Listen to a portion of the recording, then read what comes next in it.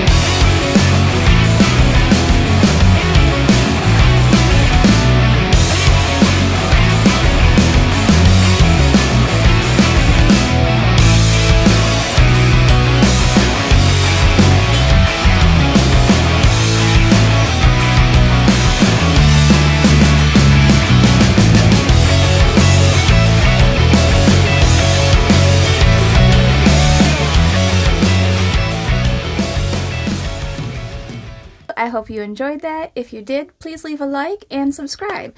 I'd like to get to 25 subscribers. That seems like a very realistic number. You can be part of that. Just hit the button. Have a great day.